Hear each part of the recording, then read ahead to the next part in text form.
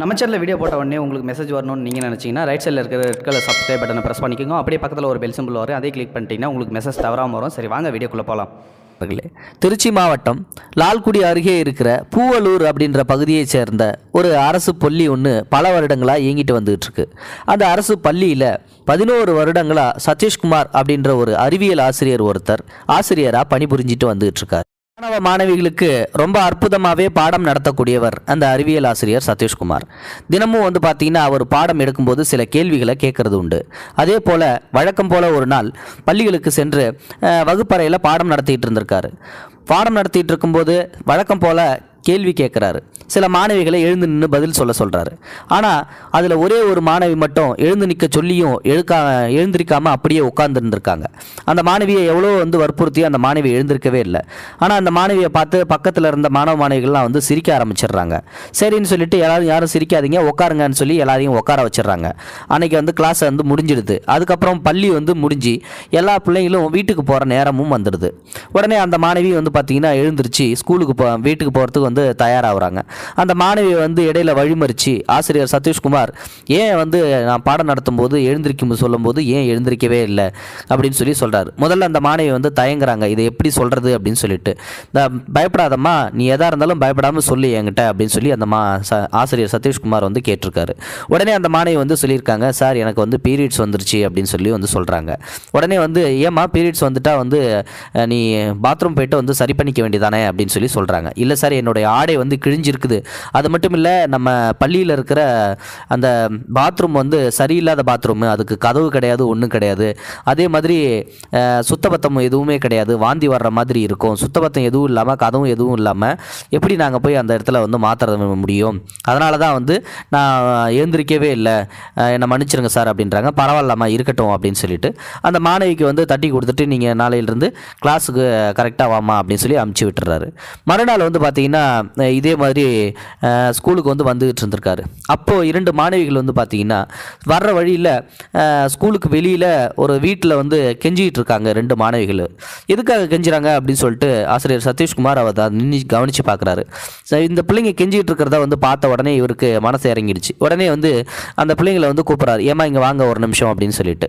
என்ன அந்த வீட்டில் போயிட்டு ஏதோ கெஞ்சிக்கிட்டு இருக்கிற மாதிரி தெரியுது. என்ன ப்ராப்ளம் அப்படின்னு சொல்லிட்டு வந்து கேட்குறாரு உடனே அந்த மாணவிகளும் வந்து சொல்கிறாங்க சார் இந்த மாதிரி எங்களுக்கு ரெண்டு பேர்த்துக்குமே வந்து இன்றைக்கி பீரியட்ஸ் வந்துருச்சு. அதனால் வந்து நாங்கள் நாப்கின் வந்து சேஞ்ச் பண்ணுறதுக்காக தான் இந்த வீட்டு டாய்லெட்டை வந்து யூஸ் பண்ணிக்கலாமான்னு சொல்லி கேட்டுட்டு இருக்கோம் அதுதான் சார் அப்படின்னு சொல்லி சொல்கிறாங்க அப்போ தான் வந்து பார்த்தீங்கன்னா இவருக்கு ஒரு ஞாபகம் வருது. நேற்றுக்கு வந்து ஒரு பொண்ணு சொன்னிச்சில்ல டாய்லெட் சரியில்லை அப்படின்னு சொல்லிட்டு. அப்போ இன்றைக்கும் வந்து அதே மாதிரி தான் வந்து இந்த பிள்ளைங்களும் அதனால தான் போயிருக்குது போல் அப்படின்னு சொல்லிட்டு வந்து சொல்லிடுறாரு. கன்ஃபார்ம் பண்ணிடுறாரு. நேற்றுக்கு அந்த பொண்ணு சொன்னதை நம்ம கூட அலட்சியமாக விட்டுட்டோம். இப்போ இந்த பொண்ணுங்க வந்து இங்கே கெஞ்சிகிட்டு இருக்கும்போது தான் வந்து இதோட உண்மைத்தன்மை வந்து தெரியுது. அப்போது டாய்லெட் வந்து இவ்வளோ வருஷமாக நம்ம பதினோரு வருஷமாக அந்த பள்ளியில் வந்து ஆசிரியராக பணிபுரிஞ்சு வந்துகிட்டு இருக்கோம் ஆனால் இந்த டாய்லெட் பிரச்சனை வந்து நம்ம காதுக்கு வரவே இல்லையே அப்படின்னு சொல்லி ரொம்ப வருத்தமாக ஃபீல் பண்ணுறாரு சரிங்கம்மா அப்படின்னு சொல்லிட்டு நீங்கள் போங்க அப்படின்னு சொல்லிட்டு அந்த இதை சொல்கிறாரு இல்லை சார் இதில் வந்து நாங்கள் அந்த டாய்லெட்டில் வந்து மாற்றவே முடியாது. பள்ளி டாய்லெட்டில் வந்து எங்களால் மாற்ற முடியாது. அங்கே வந்து கதவு கிடையாது ஒன்றும் கிடையாது சுத்தபத்தம் கிடையாது. நாங்கள் இதுக்காகவே வந்து பீரியட்ஸ் வந்துட்டுனா லீவு வந்து போட்டுடுறோம். ஸ்கூலுக்கு கூட வந்து வரமாட்டேன்றோம். நிறைய பேர் வந்து மாதம் மாதம் இந்த மாதிரி லீவு போடுறதே இந்த ஒரு காரணத்தால் தான் சார். அதனாலேயே நிறைய பிள்ளைங்க படிக்கிறது கூட நிப்பாட்டிடுறாங்க அப்படின்னு சொல்லிட்டு ரொம்ப உருக்கமாக வந்து அந்த பிள்ளைங்க வந்து சொல்லுதுங்க. இதை கேட்ட ஆசிரியர் சதீஷ்குமார் அவர்களுக்கு வந்து பார்த்திங்கன்னா ரொம்பவே வந்து வருத்தமாயிடுது. இப்படி ஒரு பிரச்சனை இருக்குது அப்படின்றது நம்ம காதுக்கு வரவே இல்லையே அப்படின்னு சொல்லிட்டு. சரிம்மா நீங்கள் வந்து நம்ம பள்ளி டாய்லெட்டுக்கு வந்து போக வேணாம். இவங்ககிட்டே வந்து சேஞ்ச் பண்ணிக்கோங்க அப்படின்னு சொல்லிட்டு வந்து அந்த வீட்டில் வந்து டாய்லெட்டில் வந்து சேஞ்ச் பண்ணிக்க சொல்லிட்டு உடனே வந்து பார்த்திங்கன்னா பிள்ளைங்களும் பள்ளிக்கூடத்துக்கு வந்துடுதுங்க அதுக்கப்புறம் வந்து பார்த்திங்கன்னா உட்காந்து யோசிக்கிறாரு. இது அந்த பிரச்சனையை வந்து எப்படி வந்து சால்வ் பண்ணலாம் அப்படின்னு சொல்லிட்டு. உடனே வந்து அரசுக்கு தகவல் தெரிவிச்சோன்னா இந்த ஜென்மத்தில் வந்து அவ்வளோ சீக்கிரம் வந்து ஸ்டெப் எடுத்து கட்ட மாட்டாங்க. நம்மளே தான் ஏதாவது ஒரு முடிவு பண்ணணும் அப்படின்னு சொல்லிட்டு ஐம்பதினாயிரம் ரூபாய் வந்து அதுக்கு டொனேஷனாக வந்து ஃபஸ்ட் அமௌண்ட்டாக அவர் வந்து கொடுக்குறாரு. இந்த செய்தியை வந்து பார்த்திங்கன்னா ஒரு பள்ளியில் நடக்கிற விழாவில் வந்து அவர் சொல்கிறாரு பள்ளியில் வந்து கழிப்பறை கட்ட போகிறோம் அதுக்கு நான் வந்து என்னோட முன்பணமாக ஒரு ஐம்பதாயிரம் ரூபாய் வந்து நான் கொடுத்துருக்கேன். ஏதோ என்னால் முடிஞ்ச அளவு நான் கொடுக்குறேன் அப்படின்னு சொல்லிட்டு வந்து சொல்லியிருக்காரு. உடனே வந்து அவருக்கு பக்கத்தில் இருந்த ஒருத்தர் நானும் ஐம்பதாயிரம் ரூபா கொடுக்குறேன் அப்படின்னு சொல்லிட்டு இன்னொரு ஆசிரியர் வந்து சொல்லியிருக்காரு. அதுக்கப்புறம் வந்து பார்த்தீங்கன்னா ஒருத்தர் நான் சிமெண்ட் மூட்டை எடுத்து தரேன் அப்படின்னு சொல்லிட்டு வந்து சொல்லியிருக்காரு.